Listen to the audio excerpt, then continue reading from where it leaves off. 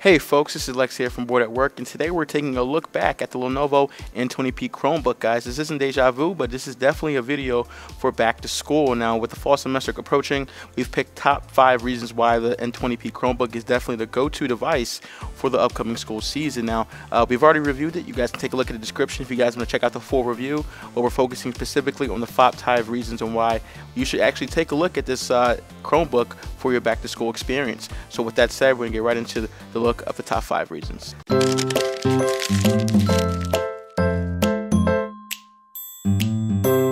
This is two reasons baked in one. As you can see here, we do have a sample of the screen outdoors, and that is pretty much the worst part of the display. Indoors, it is quite decent though, but you can see there, even on max brightness, it isn't too good. But we're also focusing on the battery life of the unit itself. Now you get about 8 hours continuous use, and with 12 hours of pretty much standby and usage combined together. So overall, the battery life is no worry whatsoever. This is the last thing you'll be thinking about. So for a student, it gives you more productivity and longevity out of device for your buck. The versatility element of the N20P is probably its best feature. And as you can see here, I'm typing on, I'm actually on my school campus just to kind of rectify and kind of exemplify that me using it in school.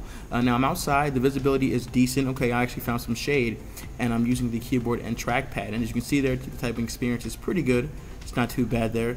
But the most important aspect is the hinge mechanism on the N20P. Now, for the price, this is an added feature that really people don't even ask for but at the same time, as you can see there, I'm bending it and angling it all at the same time, and it's, it's rather quite thin, but as I bend it back more to that 300 degree angle, I get a lot more productivity and usage out of the display. It is touchscreen as you can see there, so if I'm watching a movie or if I'm doing something different, it just adds to that enhancement. So versatility, hinge, and the keyboard and trackpad are definitely highlights of the device.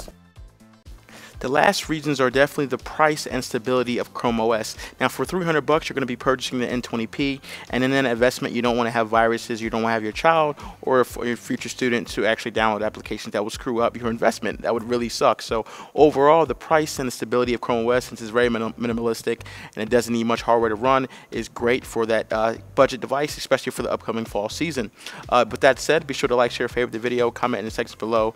Be sure to uh, subscribe if you haven't already, guys you see great content from Boored at Work. And remember to always enjoy your entertainment, folks. That is pretty much going to sum up the review. And I really enjoyed using the Lenovo N20P Chromebook, and it's my bet that you will too as well.